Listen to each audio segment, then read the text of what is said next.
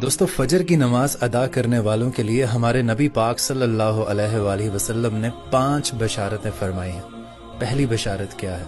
हमारे नबी पाक सल्लल्लाहु अलैहि वसल्लम ने इरशाद फरमाया कि तारीकियों में पैदल चलकर मस्जिद जाने वालों को कयामत के दिन मुकम्मल नूर की बशारत दे दो। और हमारे नबी पाक का इरशाद है कि फजर की दोनों रकतें यानी सुन्नतें, दुनिया व माफिया से बेहतर हैं। और आपने फरमाया कि जो जो बंदा अपने घर से निकलकर मस्जिद की तरफ़ निकलता है, अल्लाह ताला उसे हर कदम पर दस नेकियाँ देते हैं और मस्जिद में बैठकर नमाज़ का इंतज़ार करने वाला, गोया मुसलसल नमाज़ पढ़ रहा होता है। यहाँ तक कि वो अपने अपने घरों में लौट जाएँ। और आप सल्लल्लाहु अलैहि वसल्लम ने इरशाद फरमाया कि वो शख्स हर गिज जहन्नुम में नहीं जाएगा।